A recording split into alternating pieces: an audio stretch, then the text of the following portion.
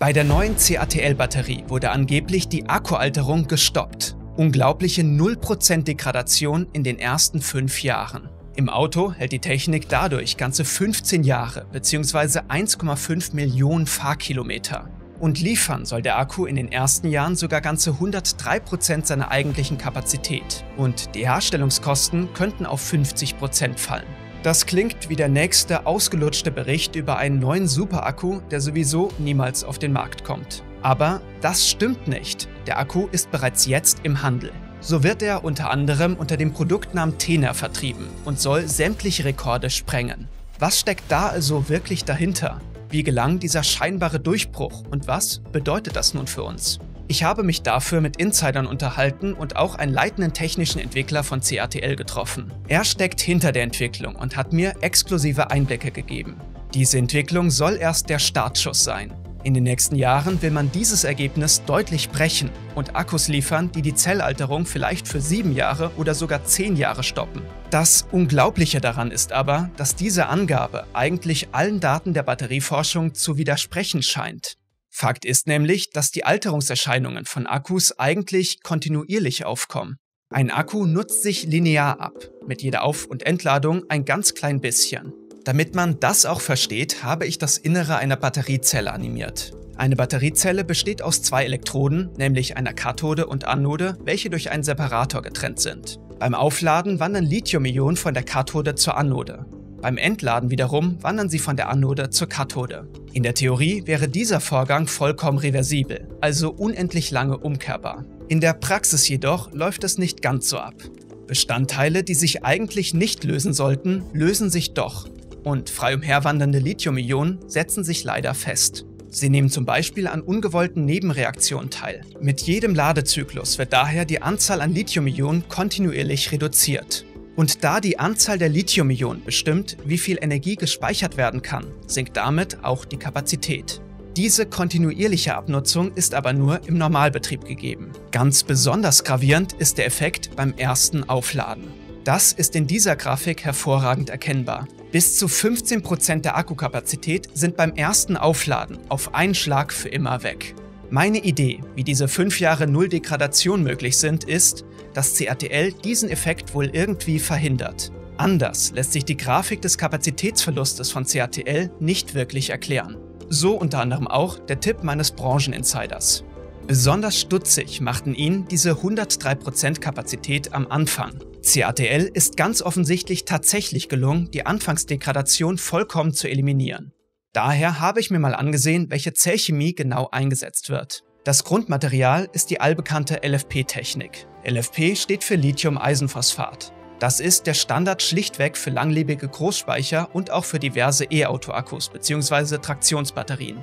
Auch nutzt man diese Zellchemie bei Solarakkus oder Powerbanks für zu Hause. Das liegt daran, dass die LFP-Technik eine besondere Zyklenfestigkeit aufweist. Das bedeutet, dass beim Ladezyklus die Verschleißfaktoren schwächer ausfallen als zum Beispiel bei NMC. Das ist eine andere Batterietechnik, die zum Beispiel besonders bei E-Autos eingesetzt wird. Ist also vielleicht einfach die Zellchemie LFP dafür verantwortlich, dass der CATL-Akku in den ersten fünf Jahren gar keine Degradation aufweist? Nun ja, kurz gesagt, nein. Mit LFP allein lässt sich dieses Phänomen nicht erklären. Jede Akkutechnik ist von diesem Anfangsdegradationsproblem massiv betroffen. Hier muss also eine zweite Substanz im Spiel sein. Eine Substanz, die den Alterungserscheinungen irgendwie entgegenwirkt. Verursacht wird diese heftige einmalige Alterungserscheinung beim ersten Mal aufladen, da bei der Aktivierung des Akkus die Elektrolytflüssigkeit einmalig mit den Elektroden reagiert. Ein großer Teil der eigentlich freien Lithium-Ionen, die für die Energiespeicherung zuständig sein sollten, geht dabei verloren. Das sind die besagten 15% Verlust. Sie werden Teil der sogenannten Solid Electrolyte Interface, kurz SEI. Eine feste Schicht verschiedenster Materialien, die später als Schutzschicht fungiert. Im Grunde aber einfach eine Ablagerung an der Elektrode. Die genaue Bildung dieser Schutzschicht ist ein hochkomplexes Forschungsfeld. Noch immer tappt man diesbezüglich im Dunkeln. Klar ist aber, dass diese Schicht einen gigantischen Einfluss auf Effizienz, Kapazität und Lebensdauer hat. CATL scheint nun nicht weniger als das gelungen zu sein, woran viele Forschungsinstitute und Konzerne weltweit scheiterten. Die Rede ist von der Prälithiierung. Die Idee, wir erhöhen beim Aktivieren des Akkus einfach den Anteil an Lithium-Ionen. Zwar werden bei der Bildung der Schutzschicht Lithium-Ionen gebunden, aber nur in etwa genauso viele, wie wir vorher zusätzlich freisetzen. Leider kann man die Ionen aber nicht einfach zusätzlich in die Akkuzelle packen. Benötigt wird ein Material, welches Lithium-Ionen absondert. Und der vielversprechendste Kandidat diesbezüglich ist Lithium-Eisenoxid. Lithium-Eisenoxid bzw. LFO kann einmalig gleich vier Lithium-Ionen auf einmal abgeben. Bei der ersten Aufladung setzt dann das LFO diese Lithium-Ionen frei. Statt den Lithium-Ionen von LFP werden dann die Lithium-Ionen von LFO gebunden. Entscheidend zu verstehen ist jedoch, dass dies nur einmalig möglich ist. LFO kann nicht wieder mit Lithium-Ionen aufgeladen werden. Das abreagierte LFO bleibt also in der Batterie inaktiv zurück. Aber der Degradationseffekt ist verhindert. Ob man das nun als Trick werten möchte oder die Aussage der Nulldegradation unterschreibt, ist eine individuelle Frage. Klar ist aber, dass das für Endverbraucher überhaupt keinen Unterschied macht. Der Akku hat tatsächlich die ersten fünf Jahre 100%, teils sogar 103% der eigentlichen Kapazität. Und in der Zukunft sind auch weitere Sprünge möglich, gar sieben oder zehn Jahre. I cannot confirm now to tell you, okay, uh, after two years we'll get uh, seven years or ten years, but we'll. Die Frage ist dahingehend aber auch, ob das wirtschaftlich ist. CATL will keine Laborrekorde aufstellen, sondern wirtschaftliche Produkte liefern. There's a tech, technical point of view. There's always a potential to improve, but uh, if we talk about business, Yeah. we also need to balance the cost and the performance. Zweifelsfrei wirtschaftlich ist jetzt aber die Technik mit den fünf Jahren Degradationsfreiheit. Wo wird also der neue Superakku eingesetzt und wie wirtschaftlich ist dieser wirklich? In diesem Sinne kurz angemerkt.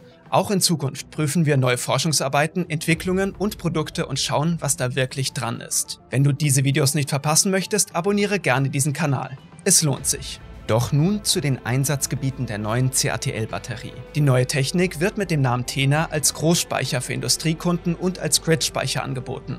Ein Container hat eine Kapazität von unglaublichen 6,25 Megawattstunden. Garantiert werden ganze 15.000 Ladezyklen. Spannend ist, dass der Preis bei solchen Speichern in Bezug auf die Zyklenzahl erhoben wird. Daher würde sich die Tena-Batterie selbst bei höheren Investitionskosten gegenüber vorhandenen Speicherlösungen zweifelsfrei amortisieren können. Im Idealfall haben Industriekunden 30% zusätzlichen Reingewinn, einfach nur aufgrund einer neuen Speichertechnik. Ein phänomenales Ergebnis. Doch was ist mit den E-Autos? Nun ja, hier wird es schwierig. Denn die Langlebigkeit eines Akkus ist hier gar nicht der wichtigste Faktor. Hier ist das Hauptverkaufsargument neben dem Preis vor allem die Energiedichte. Die Energiedichte entscheidet nämlich, wie weit man mit einem Akku fahren kann. LFP plus LFO hat zwar eine hohe Lebensdauer, aber ein deutlich zu hohes Gewicht. Relevant ist die Langlebigkeit aber zum Beispiel bei Bussen. CATL arbeitet dafür mit Yutong zusammen. Diese Busse landen in Frankreich, Spanien, Italien und vielen weiteren Ländern. Es könnte also sein, dass der Elektrobus in deiner Nähe bald mit dieser CATL-Batterietechnik fährt. So oder so, CATL beweist mit der neuen Produktreihe, dass die Grenzen der Lithiumtechnik neu gesetzt werden müssen. Aus der gleichen Zellchemie kann noch gewaltig viel herausgeholt werden.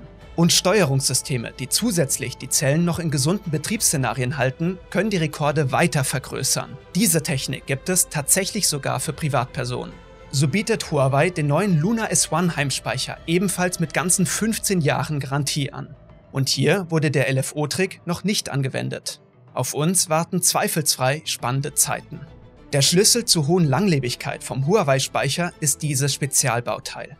Wenn du mehr darüber wissen möchtest, klicke auf das angezeigte Video. Abonniere außerdem gerne diesen Kanal, um neue Videos nicht zu verpassen.